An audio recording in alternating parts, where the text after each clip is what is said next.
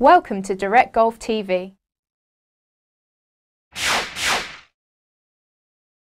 Here we have an awkward lie with the ball above your feet. Um, the setup position here, you need to grip the club a little bit shorter for more control. And when the ball is above your feet in this situation, to explain how this affects the swing plane, I'm going to show you with this. As you can see, the higher I bring the club up when the ball is above my feet, the flatter is the swing plane around your body. This swing plane will affect the flight of the ball. It will give a right to left ball flight. So to counteract this, you need to aim your body to the right of target. So set yourself up, grip the club a little shorter, don't fight the slope, and swing around your body.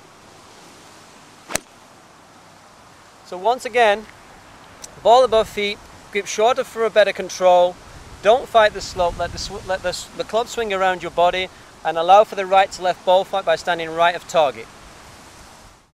To watch more tips and drills videos that will help improve your game, visit www.directgolftv.com.